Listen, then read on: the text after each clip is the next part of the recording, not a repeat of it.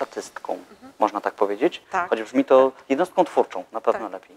A czy kandydowanie nie było takim, taką formą swoistego wyrazu artystycznego, jakimś pomysłem artystycznym, zamysłem?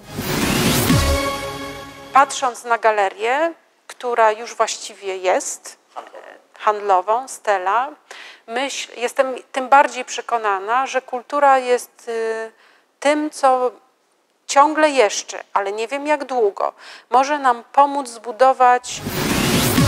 Dziękuję. Ja w ogóle ze względu na swoją przeszłość pielęgniarską bardzo lubię tą metaforę e, miasta jako ciało. E, Ciało potrzebuje kamienia, ale kamień sam w sobie nie będzie funkcjonować. On ma być odzwierciedleniem tego, co, co się dzieje w nas.